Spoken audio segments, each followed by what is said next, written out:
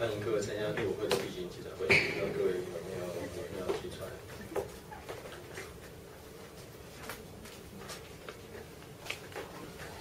就说那个我很关心那个邵奇伟，他那个事件前后，他就说没有安全就没有旅游嘛，那个很重的一句话。但我们后来那个那个观光局局长赖秀珍就回应说他没有听懂，或者说他没有说嘛。然后邵奇伟第二次出来表态说这句话是句行话，就是说旅游的行话，大家都这么认为的。就整个一个，我我疑问是一个整个事件的经过，他到底有没有说？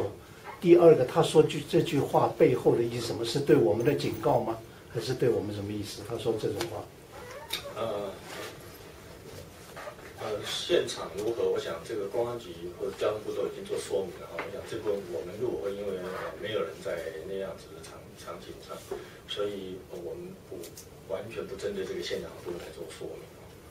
那么第二个，我想啊，就我们旅游啊，我想我们从很小。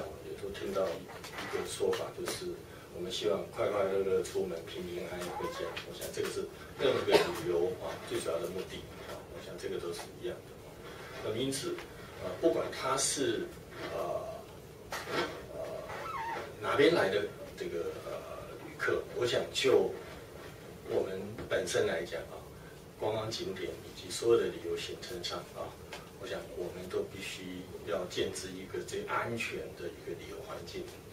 对于我们自己国人的责任，我想也如此；对于外国或者从大陆来的观光客，也都一样的责任啊。没有因为他是从哪里而做了任何一种区隔啊。所以，我想这部分，呃，事件的发生，当然我们绝对啊，希望它不发生。但是，一旦发生了，那就是我们必然要去检视，能够找出。建制最好的、最安全的一个旅游品质的一个一个啊最好的一个起点啊，这样子的工作其实就政府机关来讲，随时都是他的责任啊。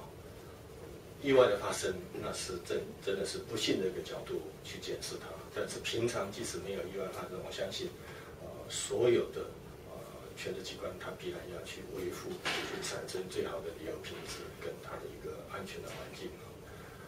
我们即使去看啊，林务局他对小火车啊，他的说明，他其实很清楚的说明说，他小火车每次要开行之前，他都一定派人要先走一趟。那目的是什么？其实也就是一个平安嘛，啊，希望是达成到那平安的效果。我想这个呃，我们了解的就是啊，大家对于平安的要求绝对不打折扣啊。但是意外发生了，大家对这样子的要求绝对会更苛，而且更严。我想这个是呃政府体制绝对要承担而且要面对的。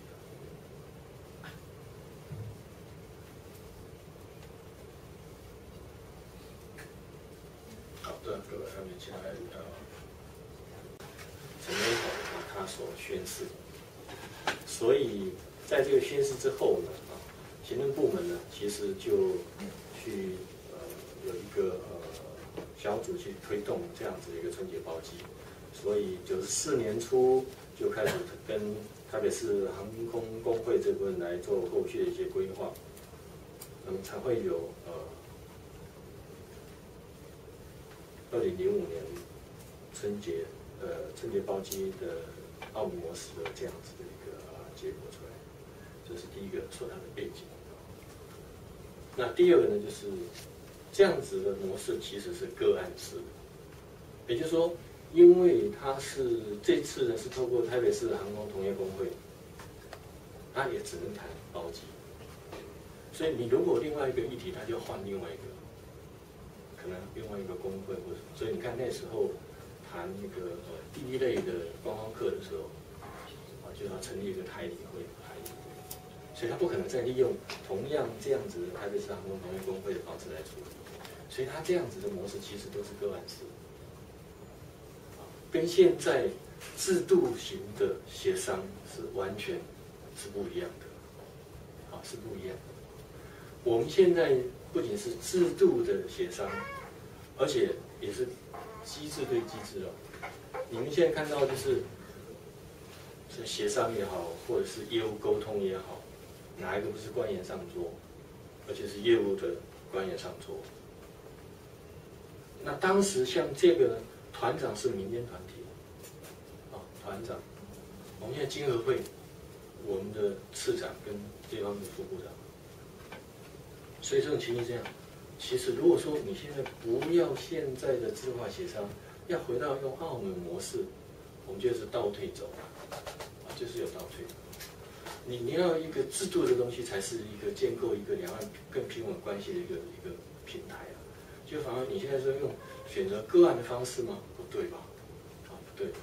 所以我想，我我想我的部分，我先说明说，其实他有那样子的背景，他的背景里面就是来自于中陈总统在九三年他的国庆谈话啊，他他讲的就是这样，他说两岸可以以九二香港会谈为基础。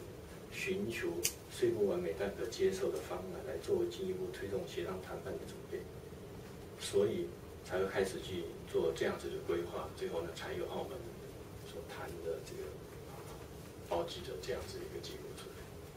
所以它是真的是一个个案式，它不是一个制度化的协商，它不是。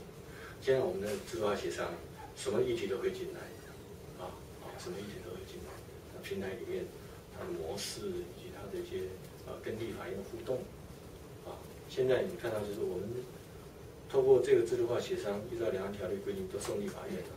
当时澳门模式没有这一段，后半段是没有的，那反而更不透明，也没有国会监督，也没有国会监督，所以我想这部分大家应该就从这边了解看到，就是其实现在的这样子一个协商啊，其实才是。真正能够为了两岸关系走出更平稳，而且它是透明的一个这样子一个协商的平台。好，OK，好，谢谢。